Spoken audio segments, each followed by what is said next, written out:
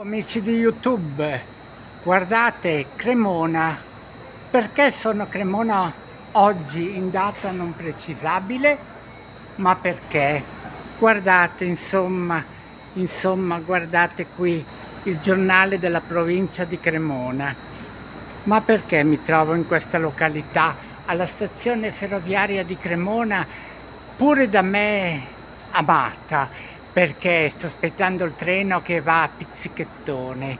Ormai sono abitué, Laldo, andare nei luoghi dove le stazioni più abbandonate rinnovano in sé un senso di abbandono d'amore. Sì, l'addio. Ma pensate questa parola così importante, addio, quando si salutavano dal treno e dicevano addio Ecco l'annuncio, ecco l'annuncio della stazione di Cremona.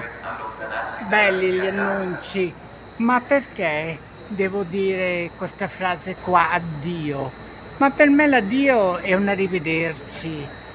Non è, assomiglia al senso simbolico della parola eutanasia, ma tra addio e eutanasia di un amore c'è ben differenza nell'appropriarsi il significato più specifico, in quanto eutanasia è la fine, potrebbe sta- essere desiderata da ambedue le parti.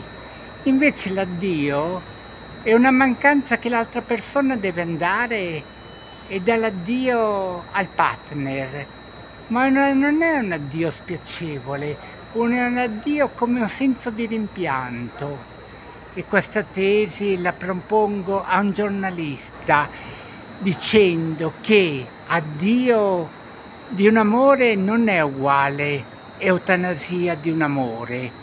Sono due cose distinte che sembrano uguali, ma non lo sono. C'è da scrivere veramente un libro tra questa diversità dell'essere consistente sempre in amore.